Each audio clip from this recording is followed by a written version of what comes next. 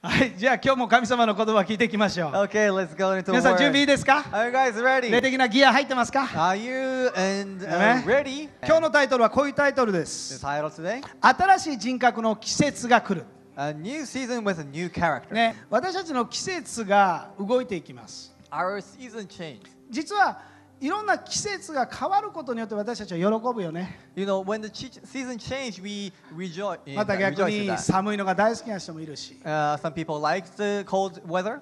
でも実はパウロが言う神聖書が言うこの言葉は私たちの外側の季節が大事じゃなくて私たちの人格が季節によって変わっていくことが大事だと言うんです。But what Paul is saying here is that it's not about the season, but it's about the season of our character change. 一つ目大事なこと。Uh, first point. 古い季節。肉に従う古い性質に気づくということです。Realize the old self, old season, which follows the desire of flesh. ローマ書の8章の7節から8節。古い性質は神に敵対します。古い性質が立法に従ったことなど一回もありません。これも決してありません。あですからあなたが古い自我に支配されて欲望に従い続ける者は神を喜ばすことはできないのです Because the old sinful nature within us is against God. It never did obey God's law and it never will. And, that's why those who are still under the control of their old sinful selves bent on following their uh, the old evil desires.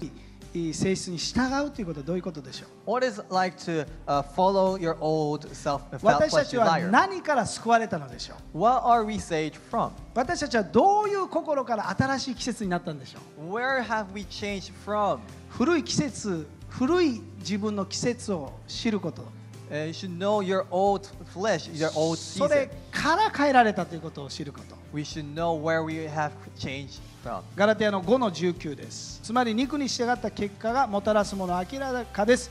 すなわち汚れた思い公職偶像礼拝心霊術憎しみ争い怒り利己心平不平荒探し排他探し排他主義。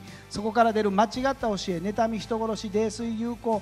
まあどんちゃんさいかな。そのような種類のものを前も言った言いましたがもう一度言いましょう。そのような生活を続ける人は神の国を相続できないと書いてます。ここを見ると頭が上がらない when I read this verse, it's uh, so humbling. 皆さんそうですか Is that same to you?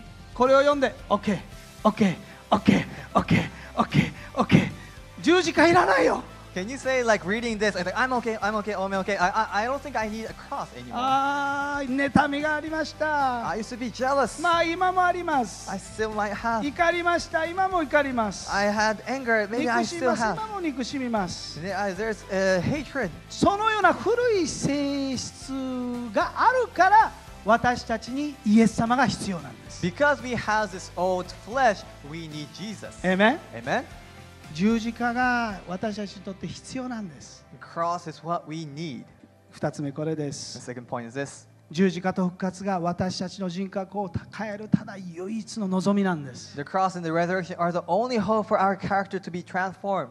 今日皆さん変わりたいと思いもありますか？ニューシーズン私も新しい心信仰になりたいと一緒いますか？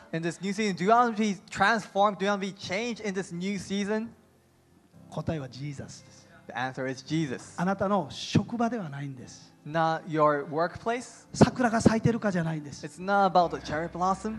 寒いね今日の朝っていうものじゃないです It's not about the weather. 私たちが変えられるその一つの唯一の方法はイエス・キリストによるんです The only only way to be changed, transformed is Jesus Christ. イエス Uh, 様はあなたの.罪のために死んでくれました Jesus あなたの恥ずかしめをあなたの代わりに受けました。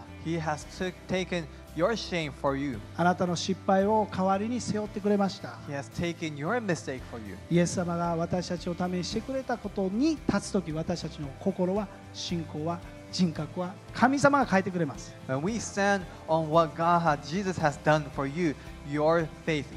クリップ見てください。2つのクリップ、これです。私たちは肉の支配の中にいたんです。You used to be controlled by our own flesh. 怒りがあるならそのままで止まらない Uh, you have anger, you just kept that anger, hold on to that. 憎しみがあるならそのまま止められない When you have this hatred, you never stop. 悪 that. 習慣に引っ張られてしまう You are just dragged by this old flesh, 肉の支配です this desire, old flesh ね、 desire. だから十字架が必要だったんです And that's why we needed the Amen. cross. Yeah? ええね Amen. で臭いものに蓋をするっていう言葉 In, ja- in Japanese, you uh, have this term that lid on. 第2コリント5章17節3はい誰でもキリストのうちにあるならその人は新しく作られたものです古いものは過ぎ去って見よすべてが新しくなりました.イエスこそ新しい季節なんです Jesus is a new season. Amen Amen. イエス・キリストこそ私たちの人格を変える新しい季節に導いてくれたんです Jesus, Jesus is the one who has led us to this new season to be transformed. だから前に戻る必要がないです、So you don't have to go わかりますか？back to the old season. ね、クリスチャンになってあなたは変えられたものこの十字架をいつも見上げるものなんです As you became Christian, you are a new creation, and that's how you look up to the cross every time. 私たちの古い季節がありました So we have this old season, 十字架によって新しい季節が訪れました and through the cross, we are entering this こ new こでクリスチャン season. の悩みです And this is what happens to Christians. どうして変わらないの And how come we don't change? どうしてその福音の力が私に望まないんだろうか Why does this power of gospel? そこに戦いがあります。でも次の季節に進まなきゃいけない。神は導きます。